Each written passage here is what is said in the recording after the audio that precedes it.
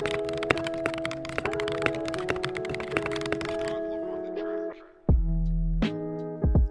mình cũng đã từng là một người như vậy. Trong đầu mình lúc nào cũng có cảm giác là mình đang làm thiếu một cái gì đó và mình đang bị chạy chậm hơn so với những người xung quanh. Mà khi nhìn ra mọi người mình cảm giác là mọi người đang chạy đúng con đường, ai cũng biết là mình đang cần phải làm cái gì và ai ai cũng đều có vẻ là may mắn hơn mình. Trong khi đó thì mình vẫn đang tự bơi một mình, chả ai giúp đỡ gì cả và mình không biết là mình phải đi đâu tiếp. Rồi cứ đi lòng vòng mãi mà không biết là cái công việc mình đang làm bây giờ nó có thực sự xứng đáng với mình hay không hay là thực sự phù hợp với mình hay không một vài năm qua, mình đã dành rất nhiều thời gian để tự so sánh bản thân mình với người khác, đặc biệt là những người rất giỏi ở rất nhiều những lĩnh vực khác nhau. Thì mình đã quan sát và học hỏi rút lại được một số những điều mà từ đó tự khiến bản thân mình chạy ra khỏi được cái lối suy nghĩ toxic đấy. Và cho đến thời điểm bây giờ thì mình rất ít khi có cái cảm giác là mình đang bị tụt lại phía sau một ai cả. Và hy vọng những gì mình nói trong video này có thể giúp được nhiều bạn, mà đặc biệt là những bạn đã từng lâm vào hoàn cảnh giống mình. 18 năm tuổi đầu tiên của mình là thời điểm mọi thứ diễn ra khá là bằng phẳng bởi vì từ cấp 1, cấp 2 cho đến cấp 3 thì mình chỉ có học ở một nơi thôi. Mình lớn lên với những gương mặt thân quen đó suốt mười mấy năm. Thành ra là những thứ mình đem ra để so sánh so với các bạn ấy, nó là những thứ rất là đơn giản và còn con như là điểm số của mình so với các bạn hay là thứ hạng của các bạn với nhau trong lớp qua mỗi kỳ. Và bởi vì tất cả bọn mình đều chung một xuất phát điểm mà bọn mình đều học chung một chương trình học và cùng được tiếp xúc với những thứ giống nhau. Cho đến khi mình rời xa gia đình, mình phải tự lo liệu lấy cuộc sống. Rồi đến khi mình đi làm, mình làm từ hết cho đến khối tư nhân, cho đến khối nhà nước. Rồi khi mình đi du học thạc sĩ, mình đi sang một nước bên châu âu tân tiến hơn hẳn. Mình được gặp với rất là nhiều người đến từ nhiều những hoàn cảnh khác nhau, nhiều những nền văn hóa khác nhau. Thành ra cái đầu mình nó liên tục phải thay đổi và cái thước đo của mình nó di chuyển liên tục chưa kể là mình còn nhìn thấy những cái áp lực ngầm ngoài kia mà xã hội đặt lên những người ở tầm tuổi như mình và không chỉ mình. Thành ra là cái thước đo dùng để so sánh ấy, mình đang ở đâu so với các bạn hay là so với số đông nó không còn đơn giản là những con điểm như là hồi còn bé nữa. Mà bây giờ nó là gì? Nó là địa vị xã hội nó là sự may mắn à, nó là cưới hỏi con cái nhà cửa xe cộ rồi là học vị hay là học hàm nhưng rồi là mình mới nhận ra rằng cái lý do nó khiến cho cuộc sống của mình lúc nào cũng đẩy dẫy những căng thẳng ấy. Nó là việc mình đang sống một cuộc sống của người khác. Mình đã áp đặt những cái tiêu chuẩn mà chính mình cũng không quan tâm lắm lên bản thân mình. Và mình đã sử dụng sai cái thước đo để đánh giá bản thân. Có hai video trước đây mình đã làm về chủ đề tương tự như thế này, mà theo mình đó là hai video rất quan trọng trên kênh youtube của mình. Thứ nhất là về toxic productivity. Và chúng ta học được bài học từ video đó là gì? Chúng ta không nên cố gắng làm càng nhiều càng tốt. Chúng ta không nên lấp đầy cái khoảng thời gian rảnh trong lịch của chúng ta bằng việc là ôm laptop và làm những cái thứ mà có vẻ chúng ta không cần thiết cho lắm để chúng ta bị ảo tưởng về việc là chúng ta đang phát triển bản thân mọi lúc mọi nơi. Và video thứ hai là imposter syndrome, nghĩa là việc mà chúng ta so sánh bản thân mình với người khác và nghĩ rằng là mình không giỏi như là mình tưởng và bài học của những video đó là gì biết mình phải đứng ở đâu biết người khác thành công vì cái gì và học cái nguyên tắc thành công của họ học cái lý do vì sao họ thành công đó và nếu mà chúng ta đem ra so sánh ấy, thì chỉ nên so sánh bản thân mình với chính mình của ngày hôm qua mà thôi đó là những nguyên tắc cơ bản của cuộc sống mà chính mình đã đặt ra cho bản thân mình sống trong suốt một khoảng thời gian vừa qua. Tuy nhiên là với phiên bản của mình năm 2022 này thì nó lại là chưa đủ. Vì sao lại như thế? Thực ra mình là một người đặt ra tiêu chuẩn rất là cao cho bản thân. À, bởi vì là mình trèo cao thế nên là luôn ngã đau đúng không các bạn? Thành ra là năm nay là cái năm mà mình thất bại rất là nhiều. Có khi không chỉ 2022 đâu mà tính cả năm ngoái nữa đi thì mình thất bại rất rất nhiều. Và đặc biệt là trong khoảng 1 2 3 năm trở lại đây thì mình chưa bao giờ mình thất bại nhiều đến như thế mà nó liên tục khiến cho mình phải tự question lại bản thân là mình có thực sự giỏi như là mình nghĩ hay không? Khả năng của mình có thực sự đến đó hay không? Mỗi lần như vậy thì mình lại bắt đầu quay trở về lối suy nghĩ rất là toxic.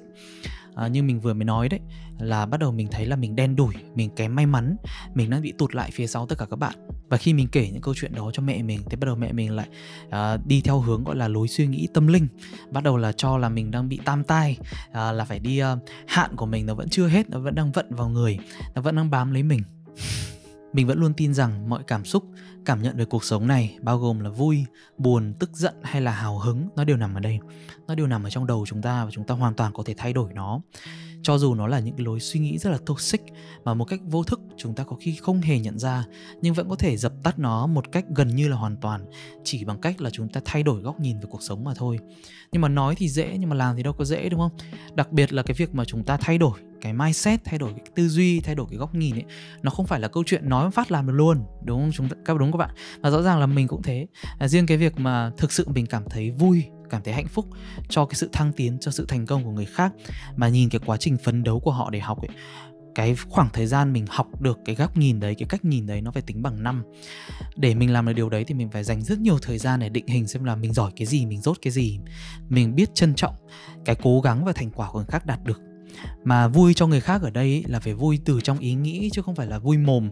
Nói là tôi rất là vui cho bạn, nhưng mà trong đầu thì vẫn là kiểu ganh ghét, đố kỵ thì đâu không phải cái mà mình đang muốn nói ở đây nha ở dưới đây là một vài điều mình đã tự đặt cho bản thân mình trong năm 2022 này để đẩy lùi cái lối suy nghĩ toxic đó đi bên cạnh những nguyên tắc cuộc sống mình đã nói lúc nãy.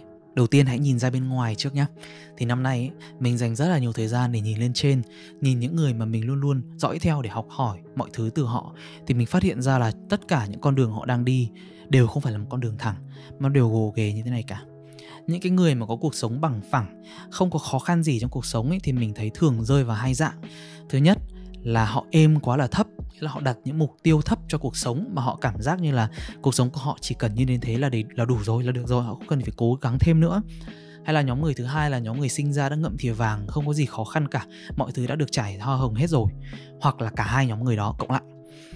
Ngược lại thì đằng sau những cái bài post chia sẻ về sự thành công như chúng ta thấy trên LinkedIn, chúng ta thấy trên Facebook thì hầu hết những cái bài như kiểu là I'm happy to announce hay là I'm absolutely thrilled to share là hôm nay mình có job mới các thứ. Thì thực ra ấy, sau tất cả những bài đó là một sự cố gắng thực sự là không ngừng nghỉ. Một loạt những cái resume gửi đi và không có hồi âm. Một loạt những cái cuộc phỏng vấn nó chả đi đến đâu cả. Một loạt những cái email hay là những cái tin nhắn mà đã gửi cho nhà tuyển dụng mà cũng không được trả lời lại. Cuộc sống của ai mình thấy cũng đều có những khó khăn riêng. Và chỉ là chúng ta nhìn thấy những cái mảng đẹp đẽ của họ khi họ khoe ra trên mạng xã hội mà thôi. Còn xấu xa thì họ đẩy lại, đúng không? Điểm thứ hai khi mình nhìn ra bên ngoài ấy, mình nhận ra được cái tầm quan trọng của việc đa dạng hóa network.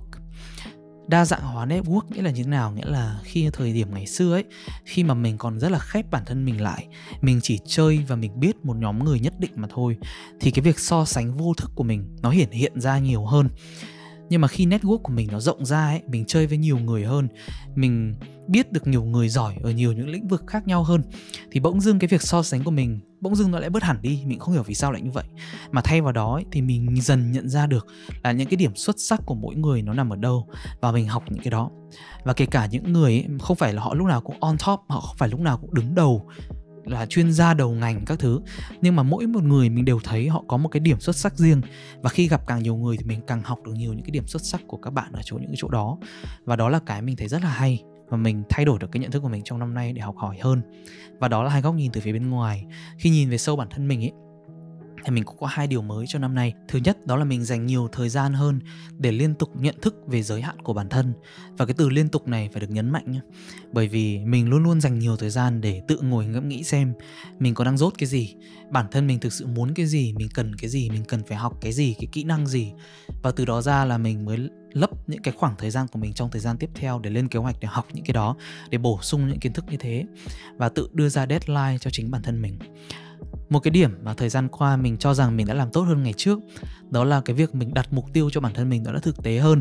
Như là ngày xưa ấy, có khi có những ngày mình đặt ra 10 cái to do 10 cái điểm trong cái to do list của mỗi ngày để cần phải hoàn thành, nhưng đến cuối ngày mình làm chỉ có một cái thôi à. nhưng đến bây giờ thì mình thấy là cái to do list của mình nó càng ngày nó càng thực tế và nó cũng không vì thế mà nó không challenging, nó rất là khó. Nhưng mình vẫn phải cố gắng vượt qua được và nó mình đặt được đúng cái ngưỡng giới hạn của bản thân để mình liên tục push bản thân mỗi ngày và cái điểm thứ hai khi mà mình nhìn vào bên trong ấy đó là mình cũng nhìn xuống. Lúc nãy mình nói là mình nhìn lên rồi đúng không? Mình cũng nhìn xuống nhiều hơn. Nhìn xuống là để thấy mình còn may mắn hơn rất là nhiều người. Và mình sống cho bản thân mình nhiều hơn. Một trong những điều khiến mình luôn cảm thấy bị stress mình nghĩ rằng là mình không chạy nhanh bằng người khác nó đến từ việc mình không trân trọng chính bản thân mình. Và mình không coi là những cái thành tựu mình đã đạt được là cái gì cả. Và thành ra là mỗi một ngày ấy, mình luôn tự đặt cho bản thân mình những câu hỏi như thế này mình có đang tạo ra ảnh hưởng tốt cho những người xung quanh hay không? Chất lượng mối quan hệ của mình trong cuộc sống đang đến đâu? Mình có đang chăm sóc cho sức khỏe thể chất và cả sức khỏe tinh thần của mình hay không? Và mình không được ngừng học hỏi những thứ mới từ những điều mình nói bên trên ấy, khi mà mình nhìn ra ngoài để học hỏi và nhìn vào phía bên trong bản thân mình để trân trọng những gì mình đã làm được, thì qua thời gian mình nhận ra một điều, đó là chả cứ gì mà mình cứ phải đi theo con đường mà xã hội đang cho là tốt nhất cả. Rất nhiều người hỏi mình là tại sao ngày xưa khi mà mình làm ở Vietcombank, mình làm công việc rất tốt ở một ngân hàng coi như là hàng đầu Việt Nam đi. Rất nhiều người hỏi tại sao mình không tiếp tục làm ngân hàng nữa, không tiếp tục làm trong cái mảng đó nữa, mà mình lại chọn đi du học, mà mình lại học ở mảng, gọi là, đầu tư và quản lý quỹ mà học cái đấy rồi tại sao về Việt Nam không làm quỹ đầu tư đi? À, cái mảng ấy rất là tốt ở Việt Nam bây giờ. Mà mình lại đi chọn làm ở mảng sản phẩm. Mình làm ở một fintech mình làm ở mảng phát triển sản phẩm ở mặt công nghệ. Thì thành ra đến bây giờ mình mới có một cái ông như thế này. Một ông youtuber đúng không? À, một người làm chính sách một người làm quản lý dự án ở ngân hàng nhưng mà lại vừa biết à, về đầu tư và quản lý quỹ. Đúng không? vừa biết nhiều kiến thức về tài chính nhưng mà lại vừa biết về mảng phát triển sản phẩm công nghệ ở một fintech đúng không? Những cái combo những công việc mình đã lựa chọn để vẽ lên con đường của mình ấy, nó tạo cho mình một cái sự unique nó gọi là một cái sự độc nhất vô nhị ấy, mà chỉ mình có cái bộ kỹ năng đó mà thôi. Thành ra là nếu mà mình biết nhấn mạnh vào những điểm như thế khi mà mình nói chuyện với nhà tuyển dụng thì có khi họ lại đánh giá mình cao hơn hẳn một người mà cứ đi theo một con đường bằng phẳng. Đúng không các bạn? Thực ra thì mình cũng giống như bao người mà thôi, vẫn đang trên con đường tự tìm hiểu bản thân và luôn luôn không ngừng học hỏi. Việc mình bị cuốn theo guồng quay ở công việc ấy, nó vô hình chung khiến cho mình không bao giờ dừng lại để tự hỏi bản thân mình xem là mình đang cảm thấy như thế nào. Cái việc này ấy, nghe nó có vẻ buồn cười, nhưng mà thực ra ấy, cho đến khi mình làm thử hai thứ, thứ nhất đó là meditation là thiền đấy, và thứ hai nó là journaling. Mình không biết journaling dịch tiếng Việt nó như kiểu là nhật ký, không biết có phải ghi nhật ký hay không. Nhưng mà khi mình làm hai điều đó, đặc biệt là khi mình journal, mình đã có một cái template mình dựng sẵn và mỗi một ngày đến thời điểm đấy mình mở ra, nó sẽ hỏi mình là ba điểm nào mà thú vị nhất trong ngày hôm nay? Hay là điều gì khiến mình thấy vui nhất trong ngày hôm nay? Thì mỗi một cái việc như thế nó chỉ tốn của mình 5 phút mỗi ngày mà thôi nhưng mà khi mà mình dành thời gian cho nó nó khiến cho mình trân trọng cuộc sống hơn. Bởi vì khi mình tự hỏi là hôm nay có điều gì nó khiến cho mình phải cảm thấy trân trọng về cuộc sống, bỗng dưng mình nghĩ về nó nhiều hơn. Và mình trân trọng những gì, những người bạn xung quanh, bố mẹ, gia đình của mình hơn. Mình trân trọng những gì mọi người đang làm cho mình. Và mình trân trọng chính những mì chính những gì mình đang làm ra cho mọi người nữa. Và đây, các bạn nhìn này. Striving for growth, có thể gọi là câu quote của cuộc đời mình luôn.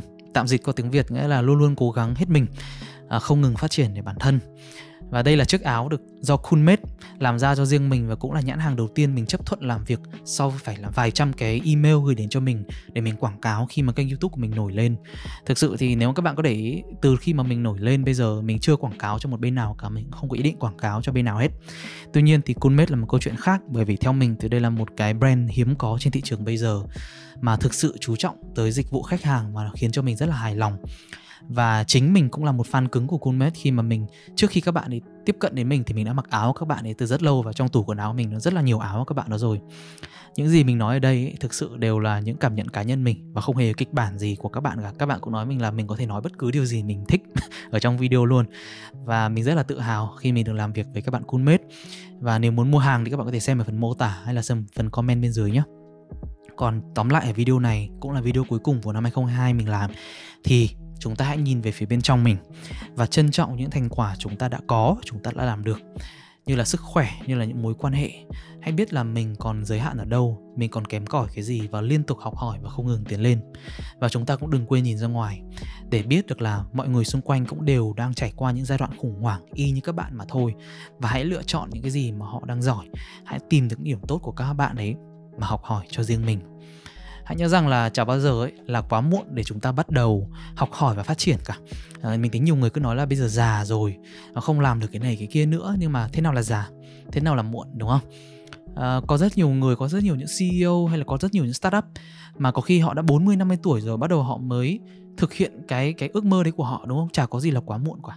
Mà chúng ta hãy nên dừng lại và lắng nghe nhiều hơn, tiếp cận những cái mới với một cái tâm thế của một người không biết gì ấy và đừng có khư khư bảo vệ quan điểm của chính mình.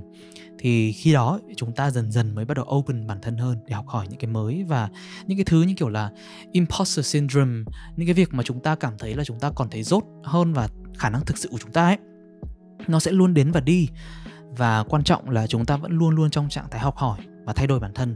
Như thế là chúng ta đang đi đúng hướng rồi đây là video cuối cùng trong năm 2022 của mình và trong đó cũng là những bài học mà mình đã đúc kết được trong năm nay để thoát khỏi những lối suy nghĩ toxic cảm thấy là mình không còn bị đứng sau ai cả bởi vì mình đang bước trên con đường của do chính mình vẽ ra mà thôi Cảm ơn các bạn rất là nhiều, cảm ơn hơn 350.000 bạn đã tìm đến mình trong năm nay và hy vọng năm sau mình sẽ tiếp tục nhận được nhiều tình cảm của các bạn hơn nữa.